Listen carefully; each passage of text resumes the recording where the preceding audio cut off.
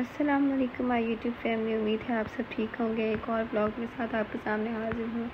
अच्छा जी मॉर्निंग गुजरने के बाद चाय शाय नाश्ता करने के बाद, फारिग होने के बाद मैंने रूटीन क्या होती है कि मैं हफ़्ते में दो दिन ऑयल लगाती हूँ तो आज ऑयल का डे था। मैंने खुद भी लगाना था और बेटी को भी लगाया।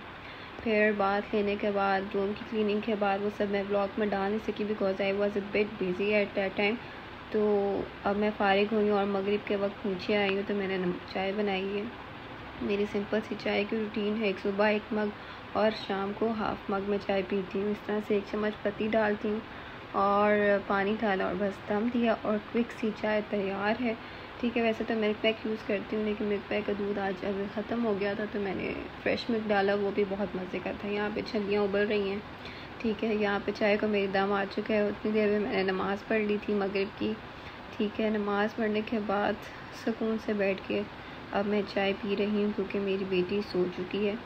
एंड इस मोमेंट में मेरे पास वन आवर होता है। बिफ़ोर गोइंग टू किचन तो मैं यहाँ पे सुकून से बैठ के चाय पीती हूँ और रिलैक्स करती हूँ।